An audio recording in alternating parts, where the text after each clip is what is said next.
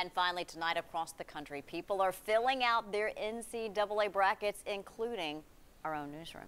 10 News reporter Cole Sullivan set out to master the madness with math. When it comes to March Madness, I play to win. But to beat the big dance, I need a coach. I love using math to solve real world problems. Melissa Bowers directs the Masters in Business Analytics program at UT, and she's got bad news for me. 9.2 quintillion.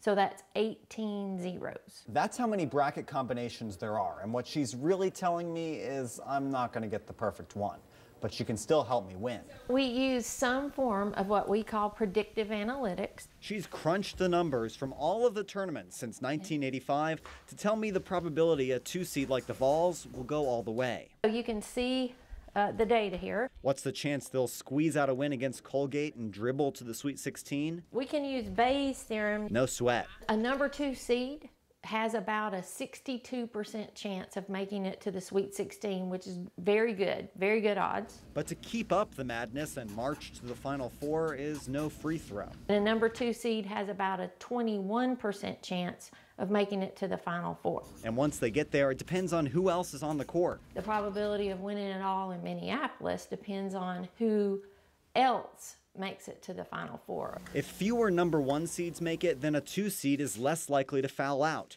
And as for who she has winning it all, you can't measure heart, tenacity, determination with statistics.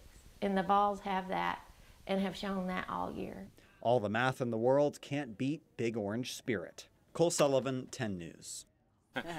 Cole says he's looking forward to winning our newsroom Oh. pool with his newfound expertise. Is that so? Yes, indeed. And we Uh-huh. have a full video of Dr. Bowers explaining the math behind those predictions at WBIR.com.